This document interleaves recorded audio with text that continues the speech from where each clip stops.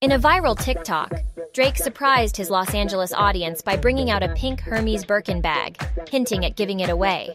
Playfully remarking on its costliness, he humorously scanned the crowd for a recipient, ultimately choosing a lucky girl. The Birkin, known for its exorbitant price range of $10,000 to $30,000, holds a special place in Drake's heart. He collects them with the intention of gifting them to his future partner. A symbol of status and a cultural icon, the Birkin has adorned the arms of celebrities and characters alike. To ensure the bag's safety, Drake advised security for the recipient. This move follows Drake's recent involvement in an altercation at one of his shows, displaying his dedication to protecting his fans.